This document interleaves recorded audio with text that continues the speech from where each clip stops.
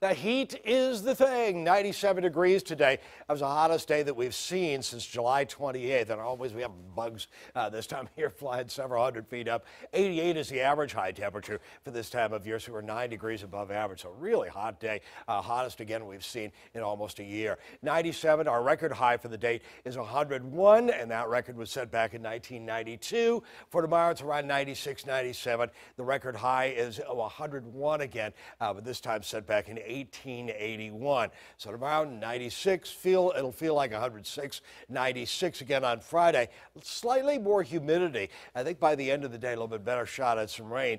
Oh boy, 90 for a high coming up on Saturday, 87 by Sunday. Let's go on uh, with everything. It's going to be just as hot coming up for tomorrow and really into the day coming up on Friday. A new satellite uh, has been added. Uh, the uh, Na National Oceanic and Atmospheric Administration launched a new satellite. We're keying into it. However, we're getting some a couple of bad frames there, a couple of flash frames. But you can see again quite clearly what the cloud cover has been doing or not doing uh, for the day today. We've had uh, lots and lots of breaks in the clouds and a lot of heat uh, with highs again around 96, 97. By 7 o'clock, 90, 91 degrees. We move on into tomorrow morning. It'll only drop to around 78, 79 to 80 degrees, and then we'll rise back up pretty quickly to around 95, 96 by 3 in the afternoon. Stray shower possible, even 97, uh, 93 to 97 at 4 in the afternoon. A stray shower, thunder shower possible even at 7, but then that's it. They all go away.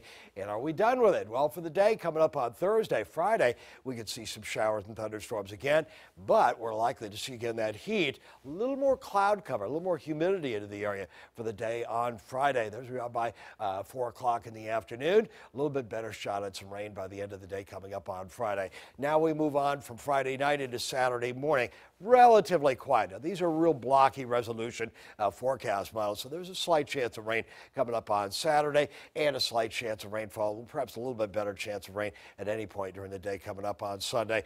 Only dropping about 79, 80 degrees during the overnight hours. And during the day tomorrow, once again around 96.